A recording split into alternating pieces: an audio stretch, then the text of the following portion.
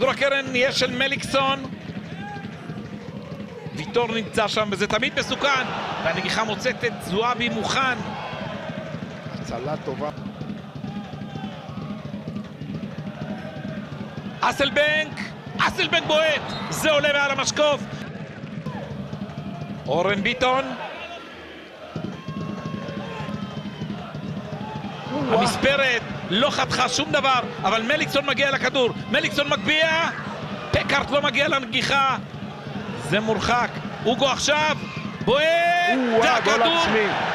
חודר לרשת, ליאני מאשר, 1-0 להפועל באר שבע. פוגע בפקאר, זה אומר שהשער זה- של פקאר. פקארט, בדיוק. משנה כיוון. שער מספר 7 לתומש פקארט. מוחמד שקר. עדיין שקר, עדיין שקר, כדור הרוחב שלו, והנגיחה למשקוף. איזה החמצה, איזה החמצה ממטר וחצי מהקו. כדור טוב, אפשר להשוות, זוהי ההזדמנות הגדולה, ואת ההזדמנות הזאת קריית שמונה לא מנצלת, או בואו ניתן ים של מחמאות לשוער גיא חיימוב. מוחמד שקר מגיע למצב שחלוצים לא נרדמים בלילה אחרי החמצות כאלה. גוזלן אל הכדור הזה, וואי וואי וואי, זה היה ננגח. קרוב.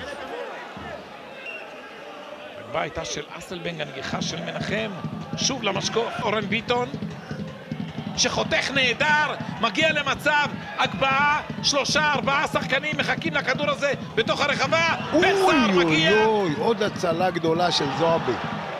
איזה הצלה, וואי וואי וואי, יפה. הכדור מורחק, הבעיטה עכשיו של נחמיאס, וחיימוב מונע שוויון!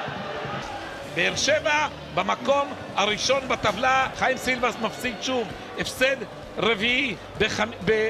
הפסד רביעי בחמישה משחקים,